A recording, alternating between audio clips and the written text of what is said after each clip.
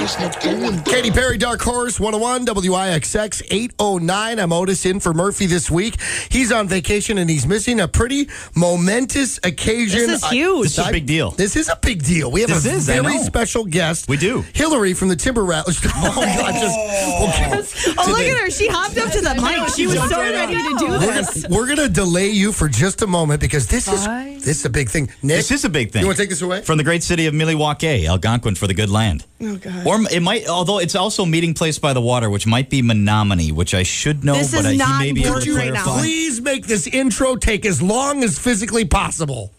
Would you like me to go on? this, this is what happens. I get blamed because things take a long time, Oh but you guys God. deviate. Now we're See? talking. All right. Anyway, okay, let's just do this. Right, like here's Member of the brother. Special Olympics Wisconsin Board of Directors, a man crazy enough to have rappelled over the side of Lambeau Field, Miller Park, and has now decided to do it again after doing Miller Park again. He is my older brother. My mother likes him best because he's on TV. I don't think it's just your mother. I think it's No, your he's- father, he's the family your sister, favorite. I was gonna say, your pretty much wife, His children are Everybody. better. kids. Even in this area, people say, "Are you related to Vince? He's much better looking." Hey, well, that's he's on TV. I know. Vince Vitrano, everyone. Good morning, everyone. Hello. So I feel like you're used to that was not some being kind able. of intro. I don't know how much time you budgeted for the in- interview, but uh, are we out of time? We are Thanks for having officially me. done. Thank you so much. It's eight eleven now at WX. Right, exactly. We've got a huge event coming up for Special Olympics that, well, it's ongoing. So you had the Miller Park last week. We've got Lambeau Field next week. It's called Over the Edge. And it's a massive fundraiser for Special Olympics, Vince. And you're on the board. This is big to you guys. Is this the biggest one of the year that you do in terms of raising money? Overall, uh, have you guys, you guys have polar plunge up by you? Mm-hmm. You know where people jump in the frozen body of water. Now I know up in Green Bay that happens more often when it's not necessarily affiliated with a fundraiser, but uh, no, that's that's probably our biggest, Nick. Is um, the series of plunges that we do across the state, where we'll raise almost a million dollars for Special Olympics Wisconsin in a, in a series of events.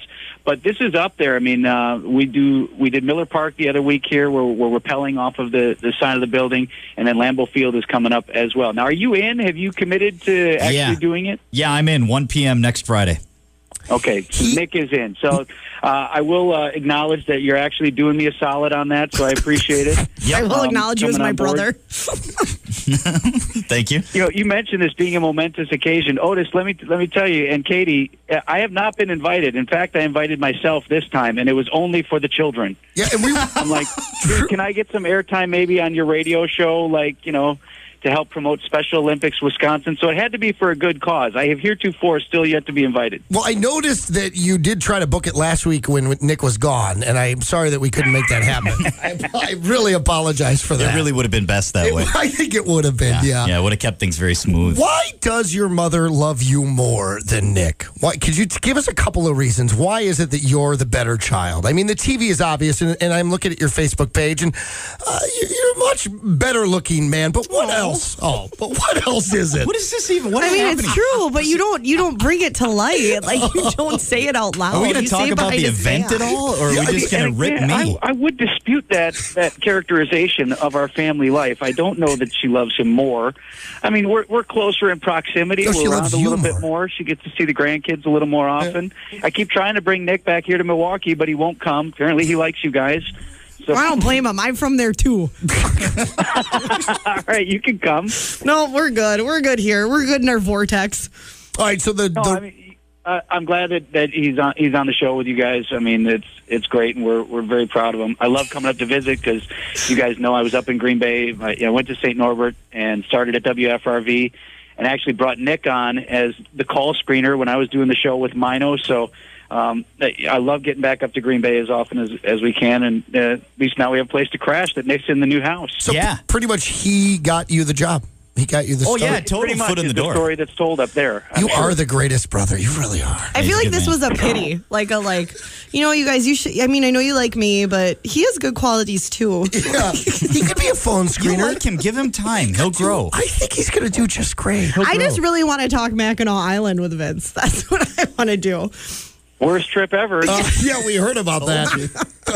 I told you. Because Murphy is in Mackinac Island as we speak, and Nick and I both warned him, "Do not go. It's awful."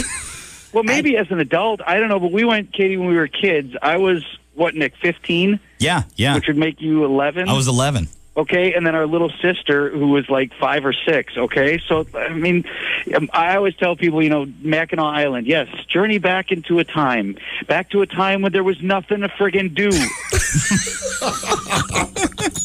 It's oh, a, we have no cars here. Well, that's Right. great.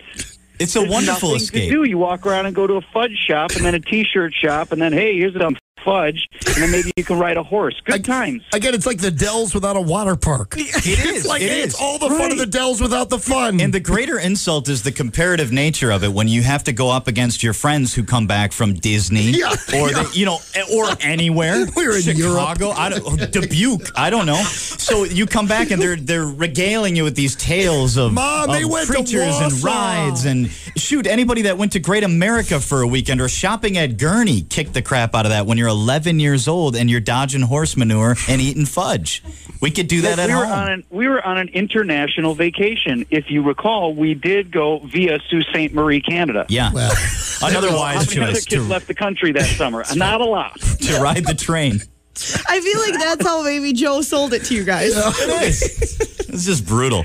all right, so Uh, but that to rather reminds me of the over the edge event. Though, you guys have heard the story about how again there was nothing to do, so I will defend it to an extent. But Nick was crazy about wanting to get you could rent a carriage, and then but it, you, it doesn't come with a driver. Like the car, you will take the carriage, and someone must have command of the car. I don't know. We're not horse people. I don't even know what that's called, but I know it's not what Nick said. Nick said, my mom said, "Well, who will drive it?" Nick said, "I know how to direct a horse. I went to Y Camp." Camp So he County. has this vision at 11 years old of trotting all over like these people, pedestrian-filled streets of Mackinac Island with his 11-year-old atop this carriage and all of us riding along. Dude, are you crazy? I, Dreams do come true, Nick. They come true. I was being a leader for the family. Someone had to step up in that moment. Because I'll you're ride really the carriage. because you're known for being a decisive person. Yeah. Who will direct this carriage? I will. Well, your brother, I will. Your I will direct the horse. your brother is leading now as he's per- rappelled down, and you're going to do this. We're when going is over this? the edge. next week. Next Friday is and Saturday is the event as well. You can check out SpecialOlympics.org.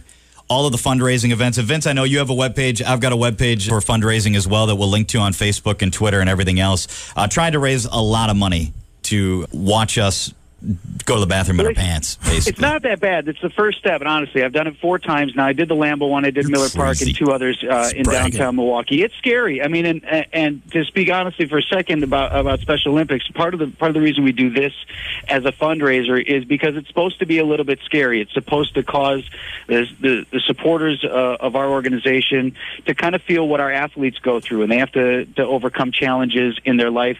Uh, a lot of them just to get out of the house in the morning, much less to step onto the stage and and to compete on the athletic fields and the courts. And so we want that for our supporters to to feel that challenge of having to overcome that fear, but then to get to the bottom and to realize you've been supported and there are a lot of people there who are cheering for you. A Special Olympics athlete will put a medal around your head when you hit the bottom. Um, well, hopefully you don't hit the bottom. You know what I mean? How about if we Uh, just, when but- we reach the bottom? It, it's really cool, and and they're so appreciative of the help and support. And Nick, seriously though, thank you for uh, for doing this. Uh, I know this has been my cause and something I'm interested in, so it means a lot to have you on board to help out. I'm really looking forward to it. I really am. I can't wait. I can't wait to do it. And I hope everybody steps up. Again, we'll have that link. Please support it if you can. Anything we raise is awesome. So uh, we'll get that up online for you. Thank you, Vince Vitrano, the uh, more loved of the Vitrano brothers. We appreciate you calling Otis in. or Katie, you tell you tell Murphy uh, again. I'm available for invite anytime. Still waiting on the invite. So whatever you guys need, you know where to call. You know where to call me. You can always confirm. Story. Maybe around Christmas, you'll have to tell the cancellation story with me. Oh, It have you is- not? You've told that, right? Oh, yeah. All right, maybe we could do a tandem. First ever broadcast history. First ever tandem uh, dramatic reenactment. I, I would pay, I would pay for this. I would. Thank you for I'm calling. in for that. Vince, we, for that, we appreciate all the work you're doing. Thanks for calling in. Thanks, Vinny. Yep. You bet, guys. Have a great one. 819 WIXX. Good morning.